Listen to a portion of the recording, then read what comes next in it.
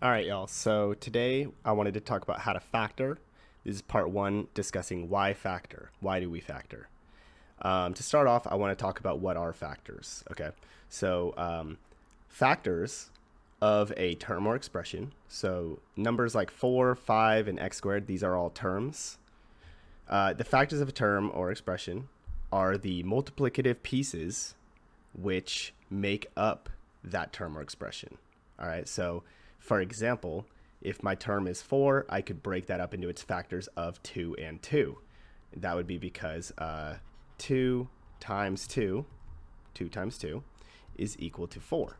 So because these two, these two factors multiply to make up the whole, they are the factors of 4. Okay. Um, what about 5? The factors of 5 would be 5 and 1. And that's because uh, 5 times 1, right? Is equal to 5.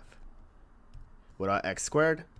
The factors x squared could be x and x, and that would be because x times x is equal to x squared. So this is just a quick little recap to us about what are factors. Now, while we're talking about uh, why do we factor, it's going to be really important for us to think a little bit more about solving equations because really solving equations and uh, our endeavors to solve equations in algebra causes a lot of our incentive to factor. It makes us want to factor in certain cases. Uh, so in algebra, we began exploring concepts of variables through functions and equations like these ones, uh, which involve those variables. So for example, uh, x plus 5 equals 7, 3x squared equals 12, x squared plus 3x plus 2 equals 0. These were all equations you might have seen in your Algebra 1, Algebra 2 classes. Now, some of these equations are easy enough to solve using just some basic algebra, balancing of equations, inverse operations. So let, us go ahead and do that right now. So for example, uh, we have x plus 5 equals 7. So I would subtract 5 from both sides. And that should give me x equals 7 minus 5 is 2. Cool, good enough. Uh, 3x squared equals 12. This one's a little bit harder, but not too much harder, right? So we're going to divide both sides by 3 to get rid of that 3 there. And so we'd be left with x squared equals 12 divided 3 is 4. Now, how do I get rid of the square here? Um, the inverse operation of a square is a square root. So I will square root both sides. Uh, that will remove that, and I will be left with x equals the square root of 4 is 2 plus or minus. Now, um, that's going to be really important for people to just remember in the future.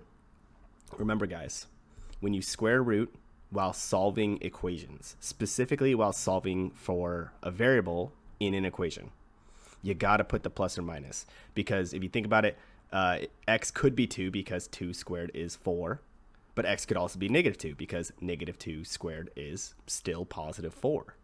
All right, so those ones were not too crazy, not too hard.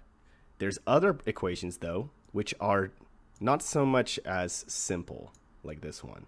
This one right here, x squared plus 3x plus 2 equals 0. Um, the problem with this equation lies in there being multiple x terms. See right there, x squared and 3x those are both x terms, right? In the other two equations, there was only a single x term, right? If you look at this one here, we've got 3x squared. That's one x term. Here we have x, one x term. But in this equation, we got two of them. So that is our problem, right? Our problem is that there are multiple x terms. Now, what is the solution? The solution to having a equation with multiple x terms is to turn it into an equation with only one x term. Now I can't just do that magically by adding these guys, right? Because one's x squared, the other one's just x. So instead, what we're going to do is we are going to turn this single equation into multiple equations with one x term through factoring, right? Now, if you guys remember from algebra, what's going to end up happening is x squared plus 3x plus 2 is going to factor into x plus 2 times x plus 1. How did I factor that? That is a story for the next video, which will be posted right after this one. But so if x squared plus 3x plus 2 can be factored to x plus 2 times x plus 1 equals 0, then I can claim that x plus 2 equals 0 or x plus 1 equals 0. Now, you may be saying, Mr. Hobaugh, why am I able to claim this? Why is that true? Well, let's go check it out. The trick of it is actually quite clever because it's it's both simple yet not really something that I I think most people would have thought of uh, without maybe a little bit of guidance on their own. Um, in math, if two numbers, let's say a and b, multiply to equal zero, then it must be true that one of them is equal to zero. So what I'm saying is that if a times b, a and b being variables, so they can represent anything, if a times b equals zero, it must be true that a equals zero or that b equals zero. Now I want you to take a moment, maybe pause the video if you need to, to convince yourself that this is true and why. Now, there's some formal proofs I could do to actually mathematically prove that this is true. But maybe I'll make a side video for that. In in the meantime, let's just we we I I think it's quite clear that we could claim that if neither A or B equaled 0, there's no way they could multiply to 0, no matter their values, no matter how big or how small they are. Two small numbers multiplying together will still make a number that is not 0. Okay? Now, this is significant to us only because as variables, a and b can represent anything, including expressions, such as a could be equivalent to x plus 2. b could be equivalent to x plus 1. Do you see where we're going? Before, I claimed that the quadratic x squared plus 3x plus 2 equals 0 could be factored to create the equation x plus 2 times x plus 1 equals 0. Now, just a second ago, I, I was talking about how maybe a could equal x plus 2, so we'll write that down below. a is x plus 2. b was x plus 1, so a times b equals 0. These are equivalent expressions right now, correct? Because A is representative of x plus 2, B is representative of x plus 1. Earlier, we just showed that A times B equaling 0 implies that A equals 0 and or B equals 0, right?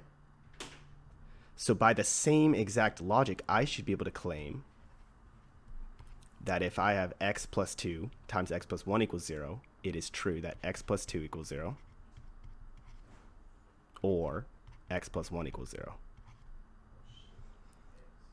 By solving these single x term expressions, I can get, therefore, that x equals negative 2 or x equals negative 1.